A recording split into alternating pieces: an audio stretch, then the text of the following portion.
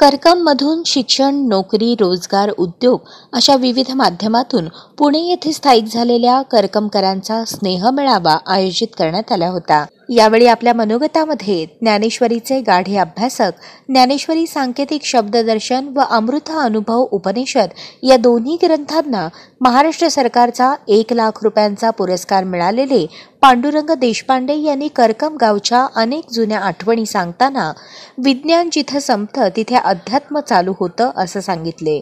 यावेळेस त्यांनी पुणे येथे करकम भवन बांधण्यासाठी एक लाख रुपयांची देणगी जाहीर केली.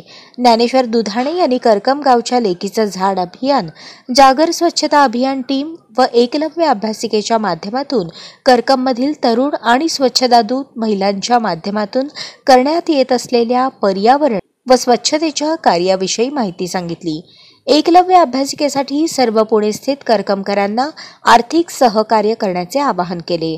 गायकवाड सरांनी तरुण पिढीला आई वडील आणि वयोवृद्धांना मानसन्मान व वेळ देण्याचे आवाहन केले.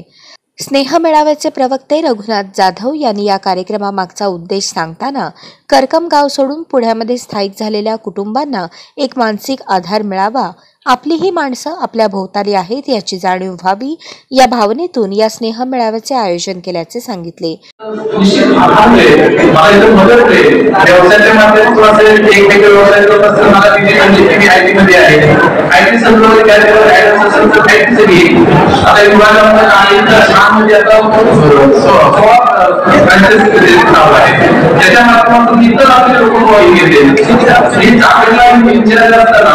असताना त्याच्या माध्यमातून लोक मोबाईल घेते ही चांगला होऊन होती. ती. पंचवीस.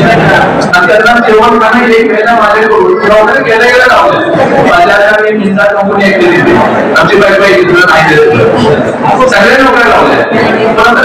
कोरोना काम करण्याची नाही ऐंशी हजार लोक युपी या काम करतात. या प्रसंगी अनेक मान्यवरांनी आपले मनोगत व्यक्त करत जन्मभूमी करकम गावामध्ये होत असलेल्या अनेक नवनवीन बदलांचे कौतुक केले. या स्नेह मेळाव्याला अनेक पुणेस्थित करकमकरांनी उपस्थिती दर्शवली होती. सुरुवातीस उपस्थित मान्यवरांच्या हस्ते दीप प्रज्वलन करण्यात आले.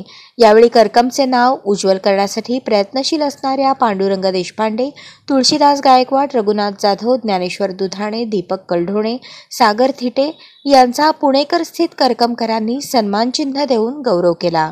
स्नेह मेळाव्याचे प्रास्ताविक प्रवीण जोशी व ढोबळेसर यांनी केले तर कार्यक्रमाचे सूत्रसंचालन आकाश थिटे यांनी केले. आभार प्रदर्शन बबन जगताप यांनी केले. हा सुंदर स्नेह मेळावा यशस्वी करण्यासाठी आरती धोंगडे ढोबळेसर बबन जगताप सुधीर करपे गजानन कुर्णावळ प्रशांत भाळवणकर अजित जव्हेरी अश्विनी पूर्वत केतकी सहस्त्रबुद्धे सुलभा देशपांडे ओंकार व्यवहारे विकास बेंबळकर मिलिंद कानडे संतोष मस्कर किरण वास्ते अविनाश घोंगडे यांनी अधिक परिश्रम घेतले.